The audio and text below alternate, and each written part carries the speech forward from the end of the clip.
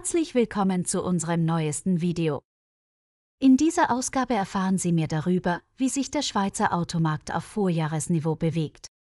Im Anschluss werfen wir einen Blick auf die neuesten Firmengründungen vom 7. August 2024.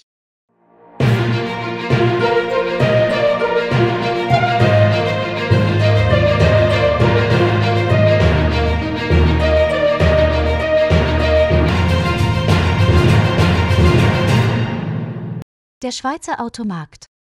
Im zurückliegenden Juli sind in der Schweiz und im Fürstentum Liechtenstein 18.430 Personenwagen erstmals in Verkehr gesetzt worden, 0,9 Prozent weniger als vor Jahresfrist.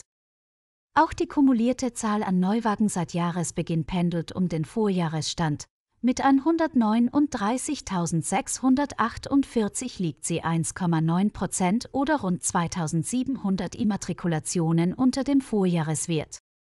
Den größten Marktanteil haben neu die Voll- und Mildhybridantriebe und damit den Benziner als führende Motorisierung abgelöst.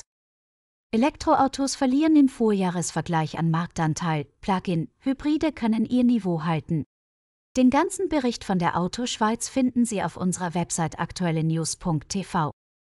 Am 7.8.2024 wurden 120 Firmen in der Schweiz gegründet, davon 30 Firmen in der Region Zürich, 14 Firmen in der Region Zug und 14 Firmen in der Region Watt.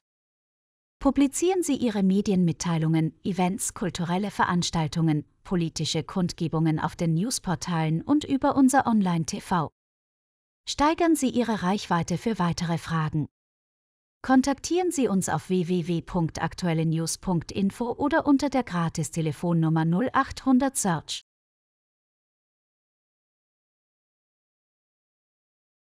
Sie finden uns auch auf YouTube unter Help TV oder auf unseren Social Media Kanälen Facebook oder Instagram unter Handelsregister TV.